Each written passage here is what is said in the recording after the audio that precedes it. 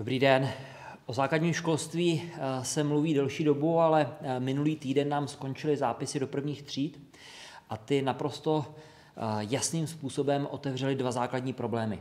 První problém, který jsme viděli, takže většina dětí není dostatečně připravená na vstup do první třídy jako takové. Ať už je to problémem například, že nechodili do předškolního zařízení, anebo díky tomu, že jejich fyzické a, a fyzická a psychická připravenost není dostačující.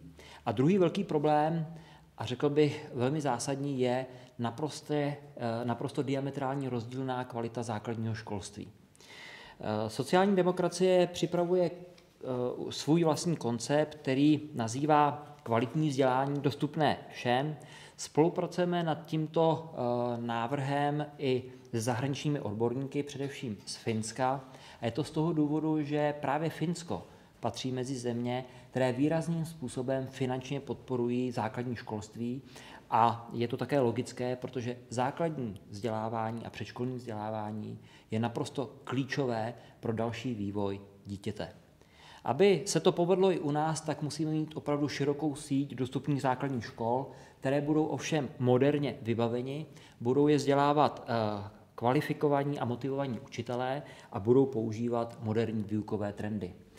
Ale musíme proto udělat několik kroků. Sociální demokracie navrhuje, aby eh, z takzvaných onivek, to znamená z kapitoly, které jsou na učebnice, další vzdělávání učitelů, byly vyndány prostředky, které jsou na eh, nemocenskou, protože je to naprosto nesystémové, a aby tato kapitola byla posílena.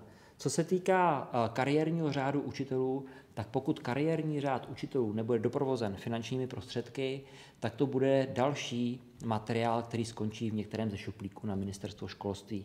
Je nutné začít už i o vzdělávání učitelů na pedagogických fakultách, poté podpořit další vzdělávání v průběhu celé jejich kariéry a samozřejmě ten kariérní řád musí být natolik motivační, aby učitelé nám neutíkali do jiných zaměstnání. Co se týká těch moderních výukových metod, eh, podporujeme eh, další technické prvky ve vzdělávání, moderní prvky, jako jsou například i tablety, eh, protože si docela dobře dovedu představit, že v budoucnosti elektronické učebnice nahradí ty papírové. Bude to v budoucnu i mnohem levnější a samozřejmě i s naší práce.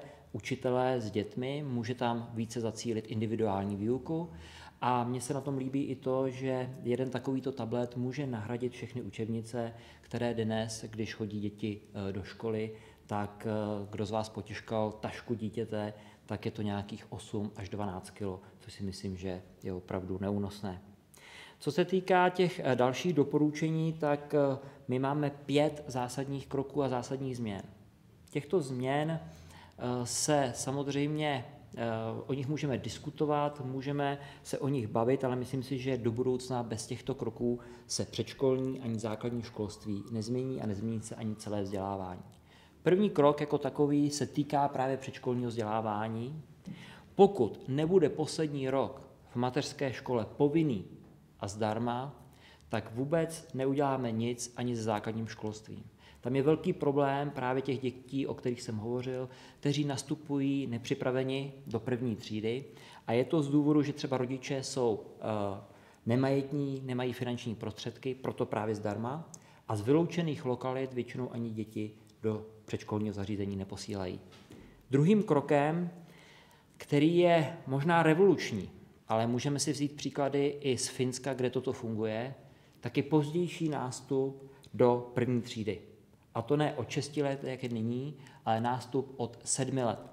Je to z toho důvodu, že dnes máme celou řadu odkladů a ty odklady jsou právě z důvodu, že dítě v 6 letech ještě není dostatečně připraveno fyzicky a psychicky na základní školu.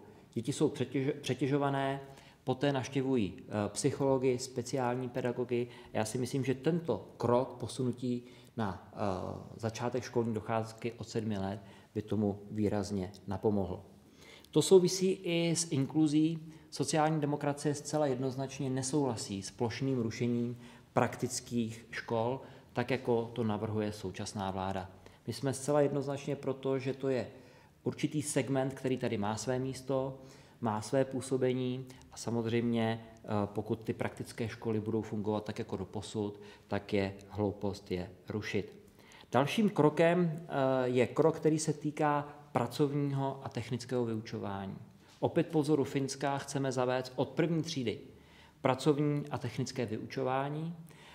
Kdo z vás si pamatuje svá léta školní, tak si vzpomínáte na dílny, vzpomínáte si na pracovní vyučování, na pozemky. Já si myslím, že to je prvek, který zásadním způsobem chybí v našem školství. Neříkám, že to je u škol, ale v některých školách chybí naprosto a proto chceme, aby toto bylo zavedeno od první třídy ve všech základních školách v České republice. Opět eh, příklad, který jsem uvedl z Finska, výrazným způsobem se Finové posunuli i ve vztahu eh, právě k pracovnímu vyučování, k technickým oborům a k učňovským oborům, což je toto eh, zásadní. No a poslední bod, Zcela jednoznačně odmítáme návrh ministerstva školství na domácí vyučování. Je to velmi nebezpečný experiment. Na druhém stupni toto zavedení může znamenat, že určité cílové skupiny, které nebudou chtít dávat děti do školy a cíleně nebudou chtít dávat do školy, tak toho budou zneužívat. A myslím si, že současný systém je nastaven již tak, že například pro děti s nějakým vážným úrazem nebo s nějakým vážným tělesným handicapem můžou již dnes naštěvovat externě školu, anebo učitelé mohou chodit za nimi domů. Toto je pět klíčových bodů, které sociální demokracie nabízí k diskuzi i ministerstvu školství a pevně věřím, že se nad ním sejdeme i s odborníky ze zahraničí, protože tyto schůzky i my již eh, v sociální demokracii vedeme. Děkuji, dáme pánové prostor pro vaše dotazy. Poprosím právo.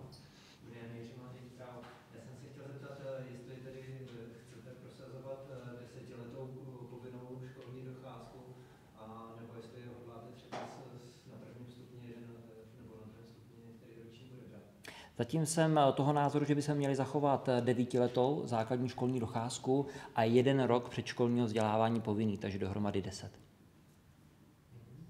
Další dotaz poprosím.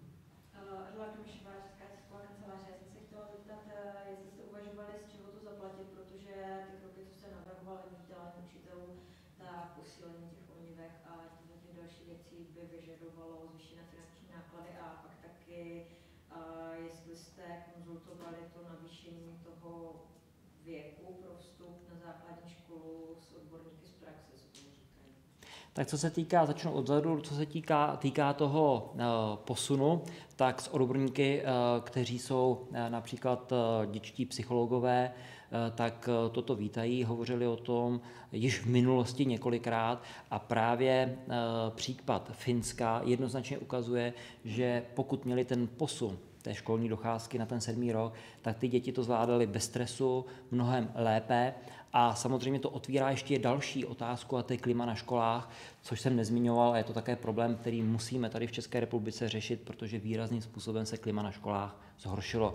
Eh, myslím si, že je to jeden z bodů, který může být podpořen eh, napříč politickým spektrem a napříč odborníky v celé České republice. Co se týká toho financování, tak eh, Česká republika dlouhodobě patří mezi státy, které jsou podfinancovány. České školství je podfinancováno, ale já jsem byl překvapen, když jsem mluvil s odborníky právě ze zahraničí z Finska, že oni zdaleka nemají největší počet finančních prostředků na školství jako jiné státy, ale umí je efektivně využívat. A to si myslím, že je cesta České republiky. Například e, předražená, zbytečně přebojilá státní maturita nás stále 1,5 miliardy, a nyní děláme testy žáků pátých, devátých tříd a jenom tři roky stojí 300 milionů. Vemte si, kolik by za to bylo škol vybavených. Například jedna středně velká škola, jeden rok středně velké školy stojí kolem 20 až 30 milionů korun. Takže vemte si, kolik škol by bylo uh, žilo za, to, za tuto částku, která je nehorázná. A těch projektů je tam celá řada. Takže v první fázi jsem proto, aby ten děravý kbelík, protože Eh, děravý belík českého školství je opravdu nehorázným způsobem protknut takovýmito projekty. A druhý krok, který je, tak je efektivní využívání evropských peněz, protože například 5 miliard, které nevyčerpá, tak mohly být využity právě na tyto projekty a na dovybavení eh, našich škol, kde dnes se přírodopis učí na opelíchaném ptákovi 20 let starém, ale máme tady na státní maturitu 1,5 miliardy. Poprosím Rádi Impuls. Zuzana Čemera, Impuls, dobrý den. Já se chci zeptat, jestli máte představu, s kterými politickými stranami byste chtěli po případě spolupracovat na těchto krocích, jaký časový horizont jste si nastavili a jak byste řešili to, že ty žáci by se vlastně přesunuli do těch mateřských škol, který je momentálně málo. Tak chceme to řešit se všemi politickými stranami, které jsou v parlamentu, se všemi, kterým záleží na českém školství. Zítra na výboru o tomto budu hovořit i s panem ministrem Fialou, protože jako předseda školského výboru Senátu parlamentu České republiky jsem ho pozval na jednání a chci mu nabídnout opakovaně pomoc i ve strategii 2020. My jako opozice nemůžeme mlčet k tomu, že tady pan ministr připravuje některé strategie a projekty, které v podstatě spadnou do období následující vlády. Eh, proto chceme na tomto spolupracovat i s odborníky z ministerstva a ten míč je teď na jejich straně, pokud se budou chtít na tom podílet, ano nebo ne. Ten časový horizont? Eh, myslíte té spolupráce? Ne, toho, kdy, bys, kdybyste si představovali, že by první sedmiletí šli. Já si myslím, že teď otvíráme debatu. A nemůžeme říct časový horizont z jednoho prostého důvodu, protože uvidíme, jaké budou reakce, protože je to revoluční myšlenka. Já jsem na to upozorňoval již na začátku. Je to věc, která výrazným způsobem ovlivní základní školství. Ale pokud bude pozitivně vnímána, tak já si dovedu představit, že jsme schopni toto realizovat do dvou, do tří let.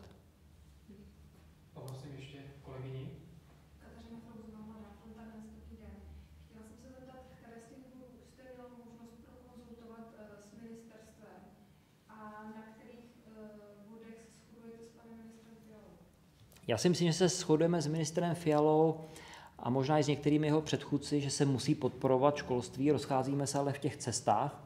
Eh, u pana ministra Fialy je možné asi se domluvit na podpoře eh, vzdělávání učitelů, na podpoře kariérního řádu, ale já tam samozřejmě říkám to B, a to finanční podpoření toho kariérního řádu.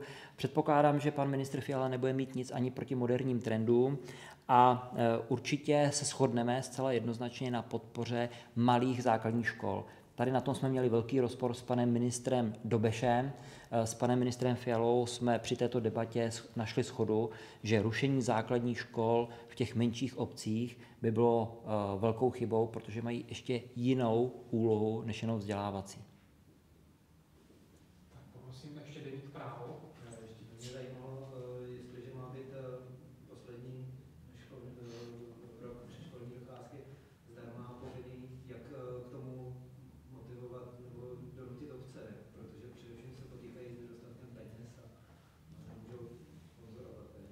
Tak především by to nebyl sponsoring, nebylo by to házení v podstatě eh, tého, tohoto balvanu finančního na zřizovatele, ale eh, musel by samozřejmě aktivně tam vystupovat stát a já již jsem říkal, kde bych hledal ty prostředky, které v podstatě vylítaly oknem a efekt byl nulový.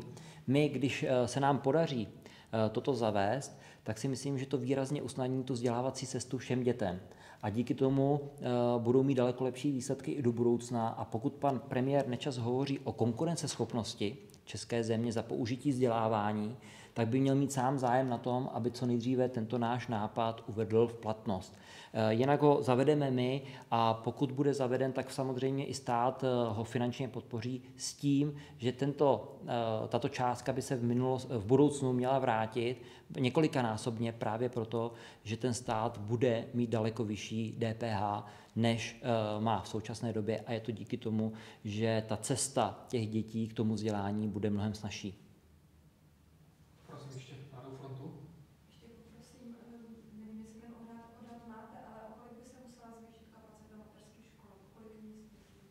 Tak samozřejmě uh, musely by být finanční prostředky, a toto jsem navrhoval i panu ministru Fialovi a předtím panu Dobešovi, že uh, by měli přealokovat ty zbylé peníze, to znamená těch 5 miliard, které tam mají a nevyčerpají, tak by je měli přealokovat právě na využití kapacity předškolního zařízení, respektive i rekonstrukce základních škol.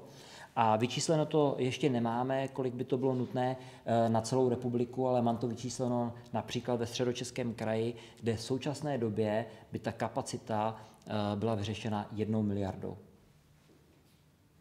Tak, právo.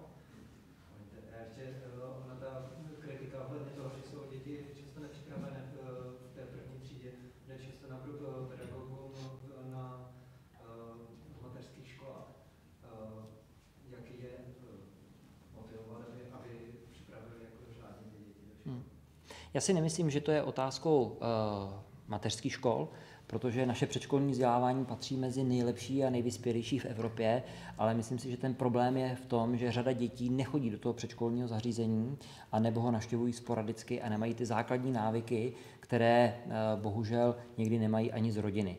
Co se týká toho předškolního vzdělávání, tak je samozřejmě nutné podpořit uh, Eh, rámcové vzdělávací programy a eh, jejich upravení eh, na základě zkušeností.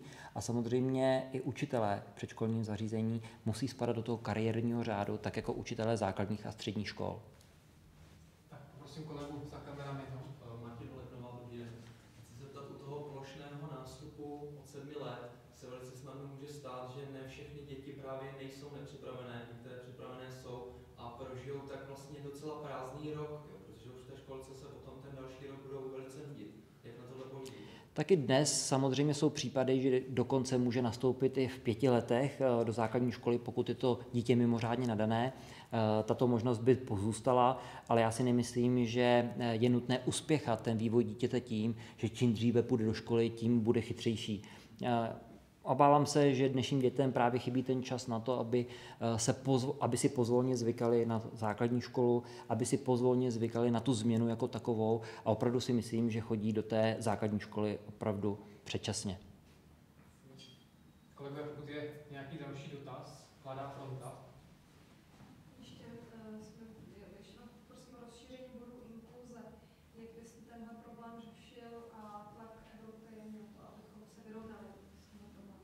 Je tam několik prvků. My jsme měli veřejné slyšení na téma rušení či nerušení praktických škol, petici, kterou podepsalo 76 tisíc eh, lidí, občanů České republice. Jeden z momentů, který je, tak samozřejmě musíme eh, výrazným způsobem dohlížet na to, aby byť jedno jediné dítě nebylo poškozeno. Eh, stalo se to v minulosti v několika ojedinělých případech. Samozřejmě musíme dbát na to, aby se nestalo, že dítě, které je inteligenčně na úrovni aspoň zvládnutí té základní školy skončilo v té škole praktické. A právě ten důvod je, že dítě v první třídě nemá základní návyky, nemá uh, základní věci, které by měl umět už z toho předškolního vzdělávání a proto na začátku má velký rozdíl oproti těm dětem ostatním. A ty nůžky samozřejmě se díky tomu, že ve třídě je třeba 25 dětí, tak se otvírají. A jeden z těch bodů, eh, který by tomu měl bránit, je právě to povinné předškolní vzdělávání, které by právě v těch vyloučených lokalitách napomohlo, aby děti z těchto rodin navštěvovali předškolní zařízení a mohli právě mít ty návyky již v první třídě. Dalším krokem samozřejmě je ta individuální výuka.